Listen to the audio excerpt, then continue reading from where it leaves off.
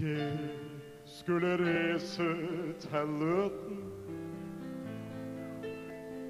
Der var en søndag her i vår. Da så jeg dama hos Østen. Fortelja det satte spor. For hun var så pen slik kull og der uten bh på plen. Smørt inn med krem på sine sølvblanke ben. Men sild lå på magen bak en stil.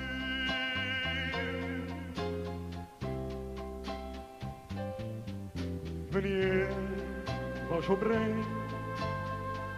og sten var liten slik at jenta så meg. Hun vart forbanna, drog et pledd over seg. Nå ropte skulle skamme meg.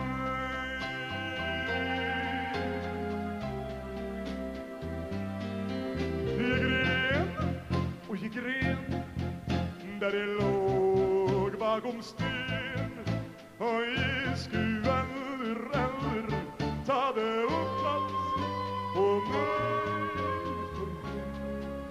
så pen, slik hun lå der uten bh på plen. Smørt inn med krem på sine sølvblanke ben. Mens jeg lå på en sten.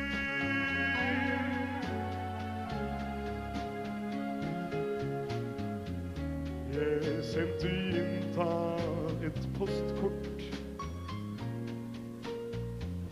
Ba om forlatelse for i går. Skrev jeg skulle spendere eksport.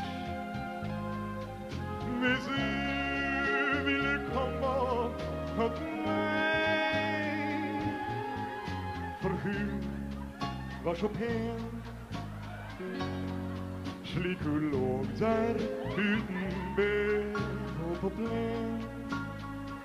Smørt inn med krem på sine sølvblanke ben.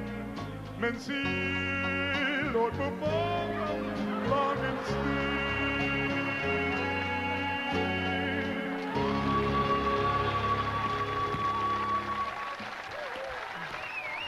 Hei, hei, hei, hei! hei. Du, hallo! Er du her for en kar? Hei! Er du her for en? Det er show her, vi. Kjenner du til med Viggo? Nei, jeg vet ikke.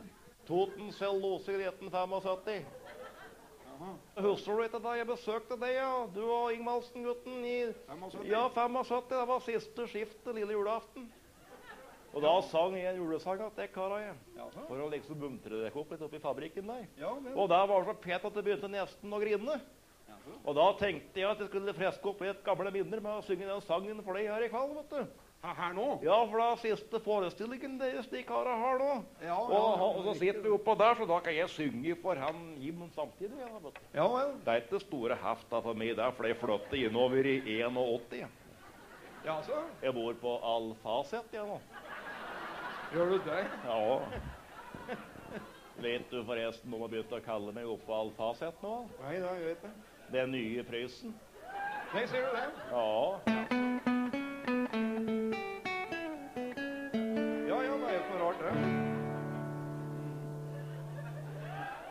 Jeg synger vil ei vise om en bitte liten gris som bodde i et grishus blant møkk og kutterflis. Han tusler rundt i bingen sin så ensom og forlatt. For der var jo ingen som koste ham god natt. Ja, takk skal du ha. Det var ikke det verste. Sjøl mor hans ville nasse, hun ville itte ha han. Hun drømte innerst inne at reven ville ta han. Og reven oppi skauen, han steik seg lurt forbi.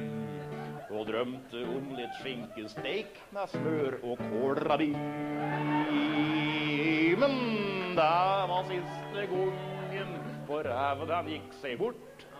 Og drukne ned i elvåse med blodigler og mort. Neimen, så stusslig, ja. Så trist. Det er ikke sant, da, men. Det er ikke sant. Jeg har funnet på dette sjøl, jeg. Har du det? Ja, ja, Er det ja. du som har funnet på at han drukne ned i elva der? Ja. Fe oh. 75. Jaså? Ja. Mens Nasse inn i bingen han åt seg feit og sterk. Nå bedekker han hundre purker i avlva Hurdalsverk. Ja, ja, ja, den er fin, den. Den er ikke dum, altså. sånn. Den, denne.